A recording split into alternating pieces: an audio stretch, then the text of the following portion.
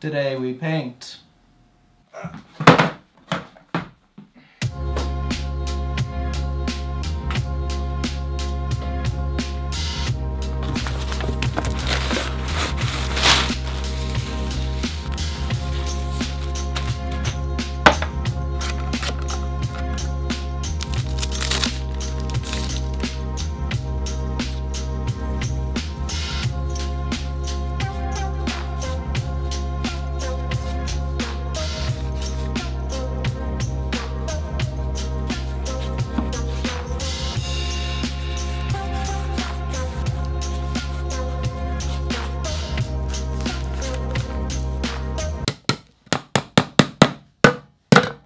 Now that our palette's black, it should help keep down any reflections and keep everything nice and dark.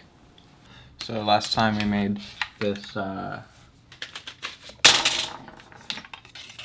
this gum pusher and today uh, to see if it works we need to do the electronics for it. Ba-da-ba-ba.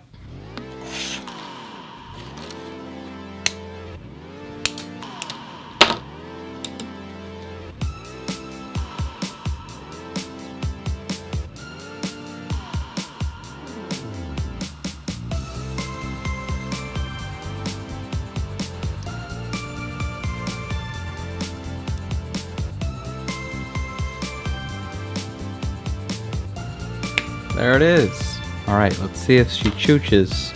We're gonna try it on this extra guy here first. So we've got signal coming in from Dragonframe through the DMC16 down here. This guy. oh, it's moving just a little bit. So tiny. Alright, it's working. Oh, yes. Oh, that's beautiful. Oh ho ho. Look at that. Oh yes. So this is pretty good. We've got two problems though. One is we've got to figure out how to reduce friction between the gum and the sleeve or increase friction between the sleeve and the form here. Also, the gum doesn't go in far enough, so we need to mount this bar farther up. I have an idea. That moves our bar a little bit farther up, and it also holds it, so we don't need any tape. So maybe that will solve all of our problems. Still dragging though. Okay, I think I see. So the gum is a little bit too high in the box. When we slide the sleeve on, it's pushing the sleeve down, which causes a bunch of friction. We need a way to mount the bar higher up, or bends the bar down. Uh, risky, but let's try that. So that seems a little bit more lined up, this bottom edge here. Still pushing. Seems better though. I think it might not be straight.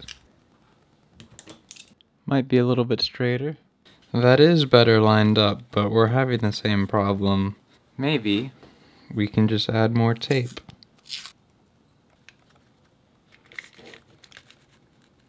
Oh, yes. There it is. Oh, no. Oh, this is backwards. This should be coming in from this side. My assumptions were wrong all along. Bend is in the wrong direction now. This seems pretty good.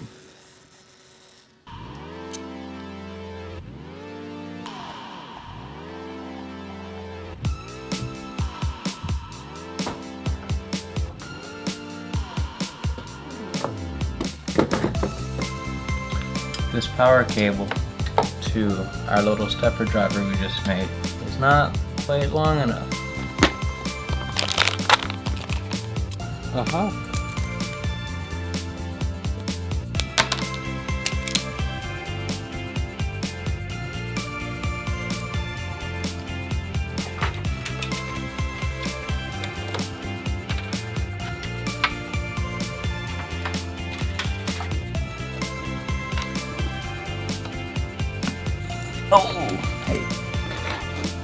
This, this is where our friend, the stepper driver, will live.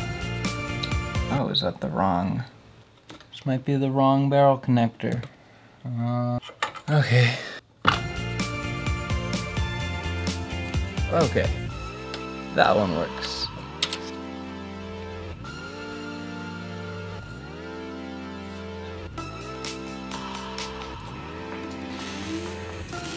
Alright, the gum is working. And nice. Okay, we have an interesting problem here. Do you hear that stuttering? That's the slider stuttering back and forth. Look at what happens when I disconnect this motor, the spinning motor. It stops. Also, if I reconnect that, look at what look at what happens when I move the driver closer to this motor. It's much more extreme when it's closer. So the noise from the coils in this stepper motor is interfering with the step and direction signals feeding this guy. I knew it would be susceptible a little bit to noise because of the way this is wired, but I didn't, I didn't know it would be this bad. So what I'll have to do here is make a little extension cable so that we can get this guy farther away from that motor.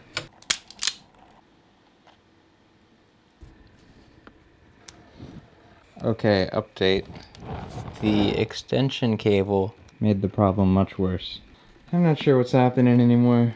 Going back to the shorter one, it doesn't really seem to happen consistently in any position and at all in some positions. So maybe if I just place it gently somewhere and ask it nicely, it'll be okay. Actually, that's probably not a good idea. Uh, but the Dragonframe DMC16 user manual has some suggestions. It's saying like the proper way to do it is to get a differential line receiver. So I think that's what I am going to have to do. Expected delivery March 20th to March 25th. Alrighty then. The delivery of that part is going to push back our final shooting date. But uh, there's still a lot we can do until then.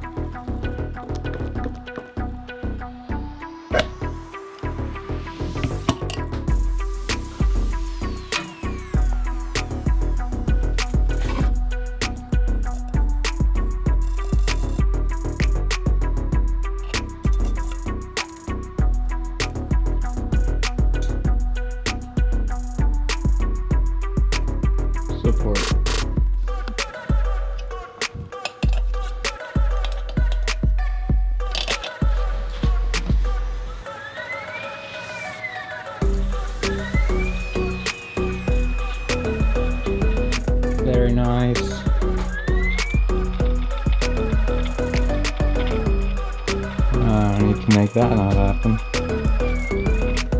You know, I guess I could just, uh...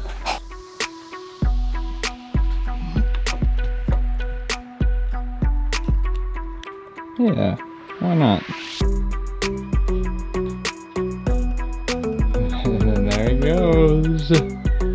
Oh. And that's winding beautifully.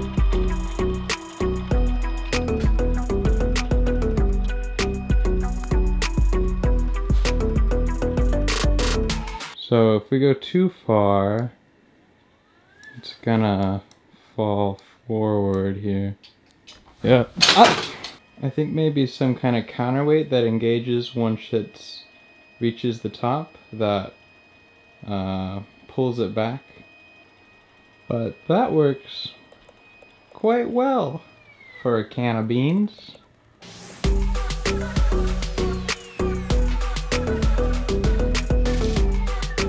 Very productive day. We got the palette painted, we got the gum moving, we got the light up and moving. Um, pretty good. We still need to figure out how to keep the light from tipping forward.